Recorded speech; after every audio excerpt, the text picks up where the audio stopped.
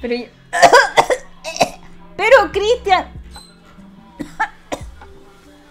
Hecho aeroso. Hecho aerosol aquí. Cuestión. ¿Qué pasó? ¿Por qué echa-